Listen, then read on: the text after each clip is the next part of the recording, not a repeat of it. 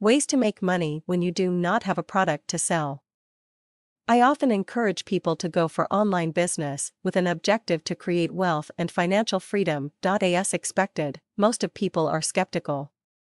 There are beliefs and myths instilled in people's minds that are difficult to shatter. Biggest hurdle that people face is not having their own product, but it is not necessary to start with your own product. While that should be your goal in the long run, you can always start without your own product.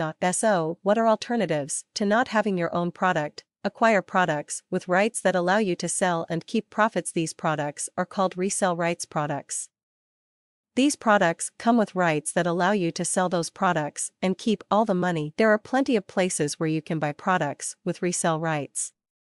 If you are interested in getting fresh products every month and your own line of products with resale rights, you might want to try our site. Promote affiliate products. Affiliate products are products by other people which you can join and promote as affiliate. When you join an affiliate program, you would be provided with an affiliate ID.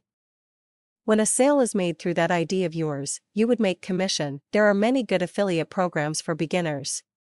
I would recommend Internet Marketing Center Monetize by advertising this is perfect for absolute beginners. You can start free blog and promote it to attract visitors.